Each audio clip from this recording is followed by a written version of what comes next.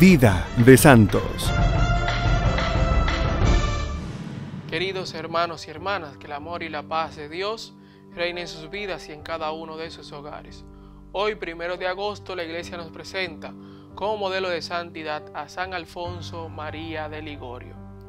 Alfonso significa listo para el combate. Nació cerca de Nápoles el 27 de septiembre del año 1696.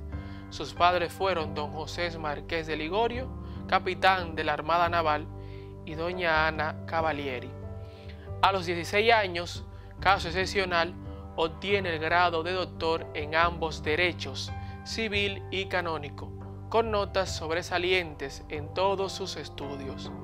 Para conservar la pureza de su alma, escogió un director espiritual, visitaba frecuentemente a Jesús sacramentado rezaba con gran devoción a la Virgen y huía como de la peste de todos los que tuvieran malas conversaciones.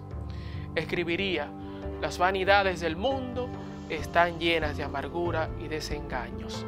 Lo sé por propia y amarga experiencia. La gente, al ver su gran espíritu de sacrificio, corría a su confesionario a pedirle perdón de sus pecados. Solía decir que el predicador siembra y el confesor recoge la cosecha. Es admirable cómo a San Alfonso le alcanzaba el tiempo para hacer tantas cosas. Predicaba, confesaba, preparaba misiones y escribía. Hay una explicación.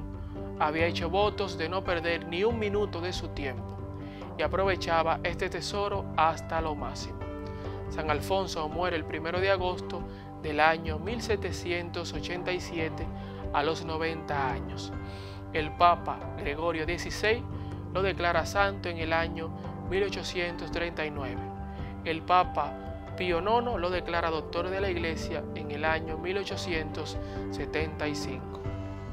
Queridos hermanos y hermanas, pidamos al Señor la gracia de trabajar incansablemente por su reino y por intercesión de San Alfonso María de Ligorio, merezcamos un día ser coronados de gloria en el cielo. Y no olvides que tú también estás llamado a la santidad. Que Dios te bendiga en el nombre del Padre, del Hijo y del Espíritu Santo. Amén.